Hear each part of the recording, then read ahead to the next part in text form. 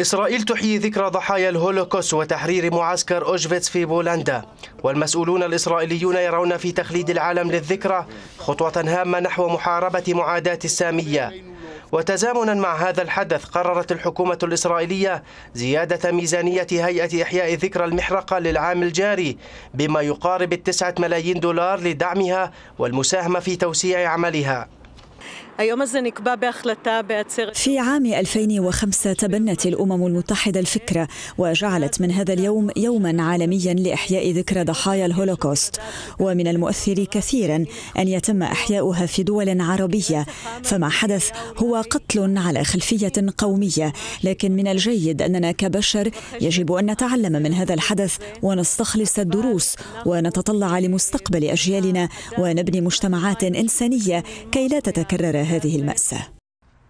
وفي إطار إحياء هذه الذكرى السنوية توجه وزير الخارجية يائير لبيد إلى النمسا للمشاركة في مراسم بمعسكر اعتقال ماوتهاوزن كما يشارك رئيس الكنيست ميكي ليفي بمراسم في البرلمان الألماني.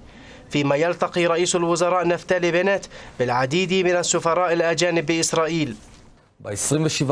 قبل 77 عاما تم تحرير معسكر الإبادة أوشفيتس حيث يلقى على العالم بأسره واجب إبقاء المحرقة النازية في الذاكرة والتعامل مع دلالاتها.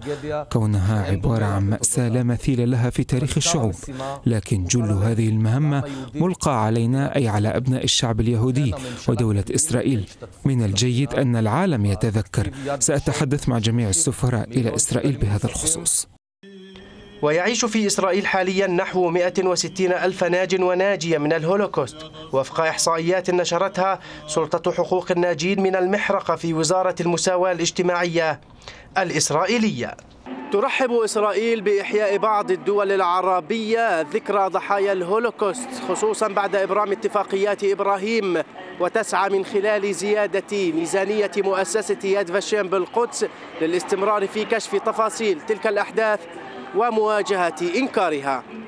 محمد الصياد الحرة من مدينة القدس.